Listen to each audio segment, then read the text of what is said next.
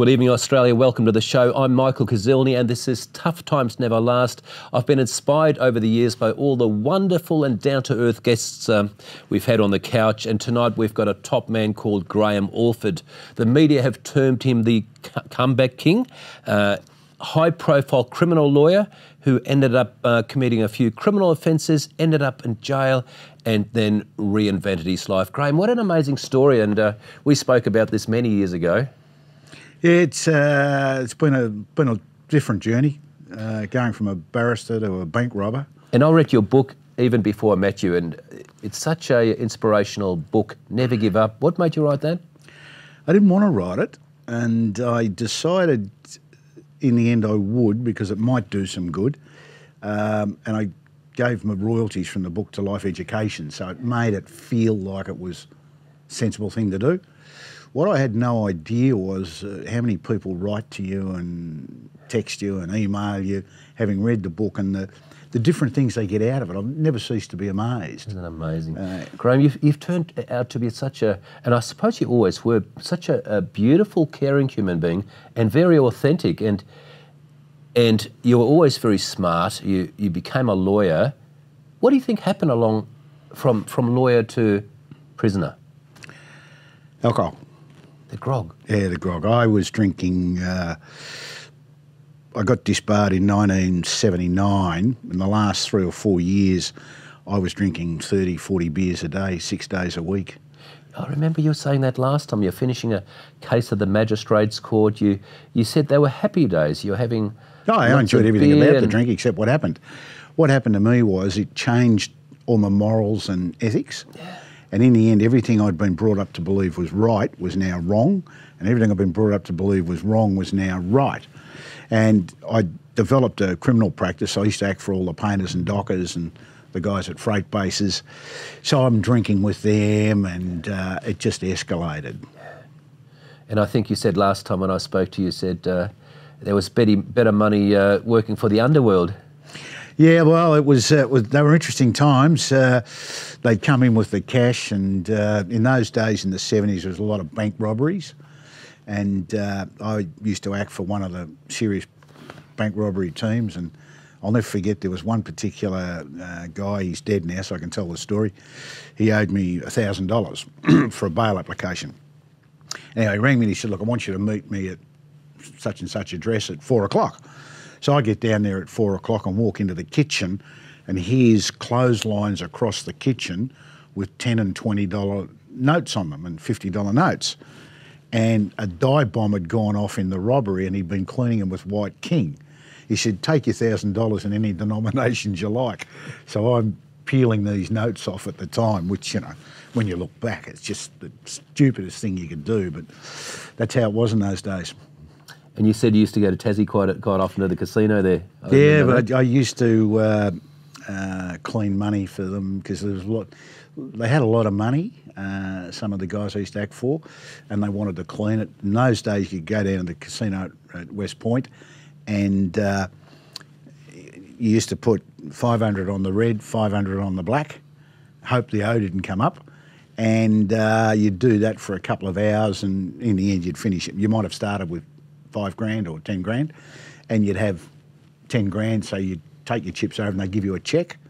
They don't do any of that now, they're too smart for that, but in those days you could do that. Graeme, tell me about your life story. You went to a private school? Yeah, went to Trinity Grammar. Uh, Great uh, school, Kew. I remember that. And then you went to um, law school, and um, where did the passion come from for criminal law?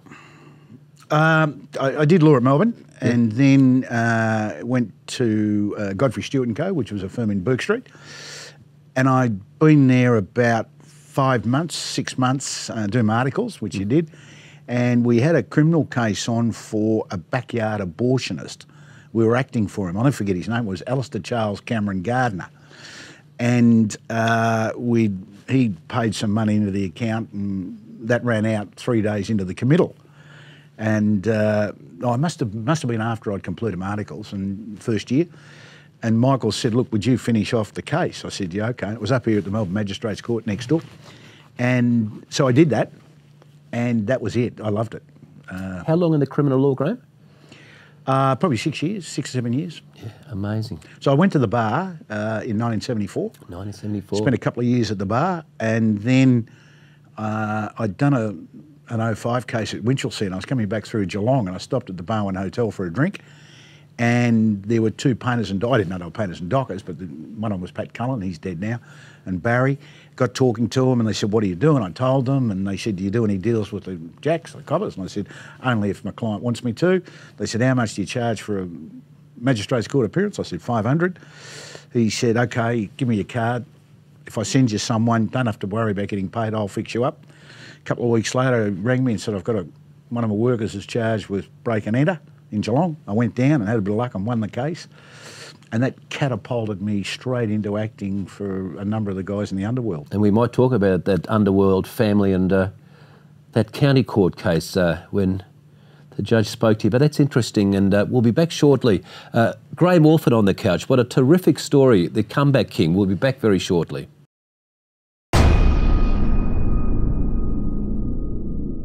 Thank you very much for watching. Tough times never last. And uh, Graeme Alford's on the couch, the comeback king.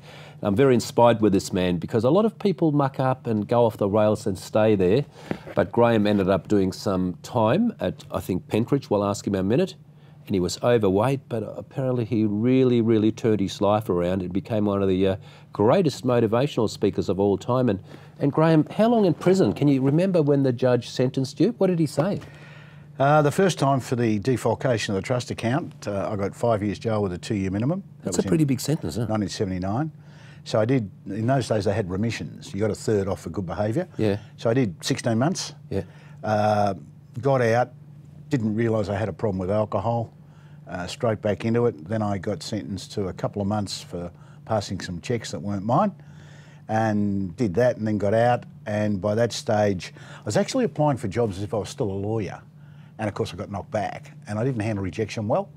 So I made a lot of friends in the underworld and met them in jail, and uh, they drank like I drank. So I started knocking around with them, and then in 1982, on October the 15th, the fateful day, I was arrested uh, robbing a bank in Chapel Street, Prahran. With your mates? Yeah, with three other guys. Yeah, Did you get much dough? uh, I got caught at the almost out the front. I came out of the bank, and uh, the police had already arrested. They'd arrived, and they were just round the corner. It was fortuitous, so they had the driver. So we ran round the front of the bank in Chapel Street.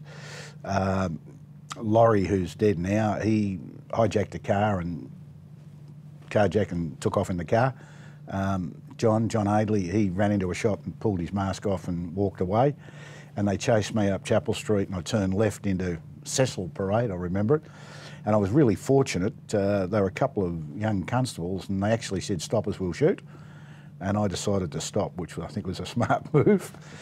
So it was um, out to uh, Pentridge um, and I was on parole at the time.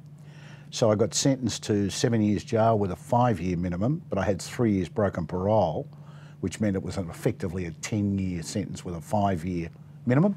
And Graeme, because you had been there before, did you did you did you go back to some mates? Did you make some? Oh, yeah, you, you, Yeah. I knew most, a lot of the guys in the yard, because in those days you were in the remand yard at Pentridge in D Division. So I was down in the remand yards for six months waiting for the trial to come up. Mm-hmm. Came up in March of 83 mm-hmm.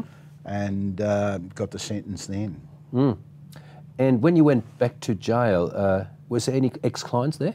Oh, yeah, yeah. Oh, yeah. Were you like the in-house counsel, weren't you? Yes, yeah. yes, you were in high demand. Um, And there must have been nights when you were thinking, God, all that time at law school and now I'm here. what were you thinking uh, where, where the journey was going to end up? it was interesting. I got arrested on the Friday and was kept in the watch house here Friday night and in front of the magistrates court Saturday morning and remanded, no bail obviously, and then out to Pentridge. And that Saturday afternoon was Caulfield Cup Day, 1982. I was sitting on the bench next to the water fountain and I was under pressure, the likes of which I'd never been before or since. And I kept saying to myself, how did it finish like this? And it was as if I'd walked out of some form of dream almost. I, I mean, I was looking back at everything that had happened in the previous eight or ten years, and, and I just couldn't get my head around it. And I was brought up in uh, mum owned pubs, so I was brought up in an alcohol environment. I was always brought up to believe the more you drank, the better person you were. So to admit that I had a problem with alcohol was just so foreign to the way I was brought up. And on the Sunday, the 17th at nine o'clock, uh, it came over the loudspeaker in the yards. Anyone who wants to attend the AA meeting, uh, come up to the gate. Now, I didn't go to that meeting thinking I had a drinking problem. By that stage, I realised I needed a defence to the bank robbery. I was fairly confident the jury wasn't going to accept it. I was just window shopping in Chapel Street, Prahran, with overalls and gloves and a balaclava. So I, I thought maybe I could use alcohol as a defence. So I went to my first meeting of AA and I heard these three guys who'd come in from outside talk about uh, blackouts. And one guy said he used to come home drunk and uh, go to the fridge and get a chicken out and put it in the washing machine and wait for it to cook. And, and I understood that insanity because I can remember coming home blind drunk and thinking the linen press was the toilet and those sort of things. So there was just something about it, and there's not a lot to do in prison on a Sunday morning. So I went back the following week, and then the following week, my life changed.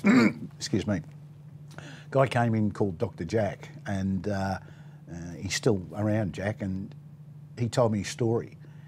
And I can remember looking at him, and it was just him and I. And I can remember thinking to myself, why would a doctor be coming into Pentridge on a Sunday morning, talking to someone he's never met before, and think that that was going to keep him sober? He said, Doctor, he must have a pill or a prescription or something. But I knew one thing coming out of that meeting. He believed that it was doing him the good that he needed to stay off the drink. And uh, so I kept going to Alcoholics Anonymous, and I've been going for the last 35 years. And uh, haven't had a drink for 35 years, and I feel fantastic. That is fantastic. And you look very fit. And I remember seeing photos of you before and after. How, how much did you weigh at your heaviest? I blew up to about 135 kilos. Yeah. Um, and so I ripped all that off, and, and I, uh, part of people recovering uh, from alcohol and drugs, I'm a huge believer in physical exercise. I found it immensely beneficial. And uh, so I, I started training and I finished up running a marathon in 1989. Wow. I finished in that half of the race that makes the first half possible. Frankston in Melbourne? Yeah. Amazing. And, uh, but it finished. So it was four hours and 30 odd minutes of pain and agony, but got there. Terrific. And we might talk about how you lifted, you probably went through a bit of depression, but how you got through that as well. And then how you organised the, uh, was it the Russian president? We'll Oh, talk about that. Business, yeah, yeah. we'll talk about that. That's amazing. But uh, we'll be back very shortly. Don't go away.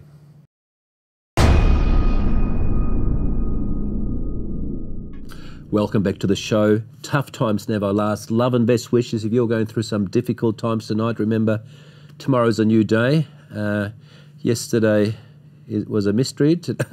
What did you say again, Graeme? I forgot. Yesterday's history, tomorrow's a mystery, so focus on today. Focus on today. That's good advice. And in particular, today there can be no stress or tension. But if you think about today and yesterday, uh, Graeme Alford, the comeback king, high-profile lawyer to the uh, to some very very interesting characters, uh, mucked up, ended up in jail, and turned his life around and uh, rebuilt his reputation, rebuilt his health and his mind, and then started. Um, Achieving some amazing things on the motivational, global motivational stage. Yeah, I got out in 1986, Yes. worked as a labourer in a scrap metal yard for a year. Mhm. Then Bob Ansett at Budget Rent-A-Car gave me a job. Yeah. And then uh, Bob and I set up a business in 1990. Bob moved to Queensland to live. Yep. And I we'd started to put on some conferences. Yeah. And everyone was getting bigger. And uh, so I brought out Tom Peters. And then I was driving to Broken Hill in 1994 uh, to put on an event. And I thought, what if you got the world's highest paid speaker for one day in Melbourne. Could you make it work? So I did a couple of spreadsheets, and the beauty of spreadsheets, Excel spreadsheets, if you don't like the figure, you just change them, and then suddenly they work. Uh, so we brought out General Schwarzkopf, Stormin' Norman, Lee Iacocca, former head of Ford and Chrysler, uh, Stephen Covey, the author of Seven Habits of Highly Effective People, and then we brought out Mikhail Gorbachev, the former head of Russia, uh, president of Russia, and uh, in 2000 we brought out Nelson Mandela and Rubin Hurricane Carter. Amazing. Yeah, And, and Graeme is a, a highly effective and complete human being. Not only has he uh, studied the law, but he's studied people and he's studied the bad side and he's seen all these speakers and got tips from the most successful people around the world. And you've done so much. What's next? I, uh, I went back to school a couple of years ago and did my diploma in drug and alcohol counselling. As I said, I haven't had a drink for 35 years. And I've been, I've been doing a lot of counselling over the last seven or eight years. And I'm a real devotee of the 12 step model. Yes. Um, but I wanted to learn more about it.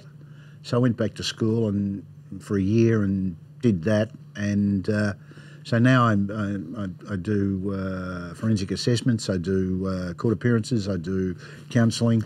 That's amazing. and you only went back to school because you had to, because you've got to get that silly certificate. But I bet you you were so much more qualified in life and experience than anyone teaching the course. Yeah, well, i it, it's often an advantage to uh, have been there and done that. Of course. So when you're talking about prisons and what happens in prisons, and I don't think a lot's changed, um, and then you're talking about addiction and where it can lead and whatever, and understanding what peop- where people are at in the cycle, Yeah. uh, it makes you're able to write, I think, or, or, or work with them on a more factual basis. Yeah. Uh, I've always thought if you go up to someone who's got one arm and say, I know how you feel, they're going to say, Well, how do you know how I feel? You've got two arms and I've got one. So when you're talking to someone who's been there and through it, both sides, both from an addiction issue and also from a jail point of view, um, I know I would be far more likely to listen to them. Mm. Um, it's an example I always use. I say, if you're going to climb Mount Everest and you've got two options, you can read the book about how to climb Mount Everest, or you can actually speak to someone who's climbed the mountain. Who would you speak to? I know who I'd speak to. I'd speak to someone who's climbed the mountain because they can tell you the little things that you're not going to find in the book. I'm sure you um, you give them fair income advice and uh, help a lot of people. Graeme, where's this ice epidemic taking us? Where where can you see, it, see this heading? Is it um, there was a lot of drugs in the past that faded out, and uh, do, do you think ice will continue being a major problem? Oh yeah, excuse me.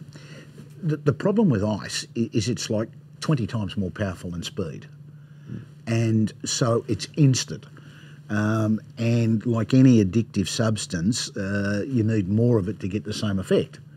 So once people develop ice habits, and it happens very quickly, uh, the psychosis sets in, and because it's so powerful, you see all these sort of things occurring where uh, you know, if you talk to ambulance drivers and paramedics, they hate attending scenes where there's ice involved because the people are superhuman powerful and they're, they're- all these sort of things are occurring and it's so prevalent and uh, it's uh, it's just so destructive. It really is so destructive.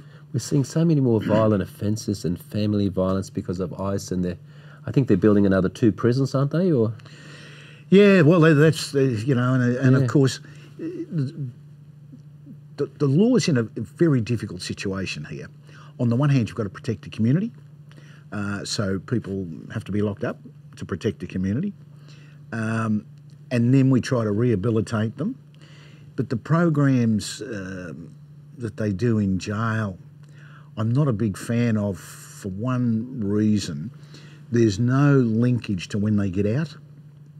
So if you've got someone who's got an addiction issue with ice or alcohol or opiate based stuff, heroin or whatever, or even prescription drugs, detoxing them and getting them clean for a period of time is only the start.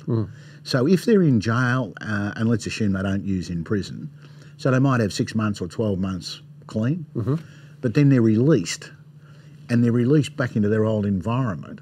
So if they've done a, a, a program or a course in jail, what's the linkage to how they're going to keep going on their path of recovery after they get out?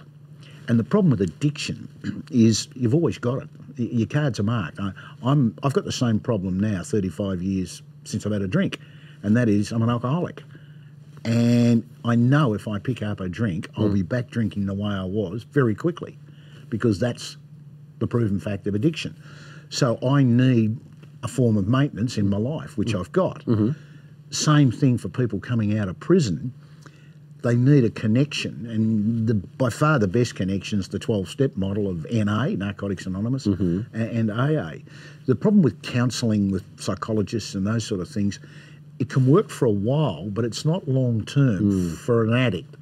For an abuser of alcohol or an abuser of drugs, they can curtail and harm minimisation and bring them back, and they can probably use in safety to some extent. But for the addict, there is no safety. It's either abstinence or nothing. And getting someone's head around that's very difficult early on mm. because what? Never going to drink forever. Mm. Uh, that's a frightening concept for a lot of people. Mm. And Graeme, what would you say to people? Because there's a whole bunch of people waiting for trials, and might be good people who got drunk and killed somebody culpable driving, and they're awaiting a term of imprisonment, and they just feel like killing themselves because there's all this fear about jail and maybe missing out on a decade of their lives. And I, I, I know a few people who are sort of uh, looking at that um, prospect. How, how do they mentally prepare themselves for prison? I've over the last 25 years, I, I, I would have spoken to probably 30 or 40 people who are going to jail, have been referred to me by friends or whatever. And I say to them, first of all, there's a couple of rules about jail. Mind your own business. Don't shoot off your mouth. If there's a line, get at the back. Don't get at the front. And fit in, don't stand out. Also, use every minute of every day on a self improvement. I look back at the four and a half years, the last sentence I did, excuse me, and I utilised almost every day to, to improve myself, to get tougher mentally, to uh, learn how to handle rejection, to get prepared. Because my first two jail sentences, I didn't. I just got out and fell straight back into the same environment. And I can remember when I was at the bar, I read with a guy called John Hanlon, who became a county court judge. And John wrote to me about 1985, about a year before I got out. And he said, Graeme, I've heard you're doing some good things with your life. Congratulations. Whatever you're doing in there, the day you get out is the day you're going to have to redouble your efforts. And I've never forgotten that. so, most people, the first thing they think about when they're getting out is uh, party, celebrate getting out. Nothing's happened. You've been in training for three years or four years the day you get out's the day the game starts. And if you've done the right preparation and you've made the right decisions and how you're going to go about it, then you stand a chance of not falling back. But we all know the recidivism rate in the first six months of release is horrendous. It certainly is, Graeme. And uh, mate, such inspirational words. Can we have you on again in a couple of months? Yeah, And, love um, to. That'll be terrific. Thank you so much. You're a great inspiration. And thank you very much for watching. Graeme Alford, love and best wishes. We'll see you next week. Good night.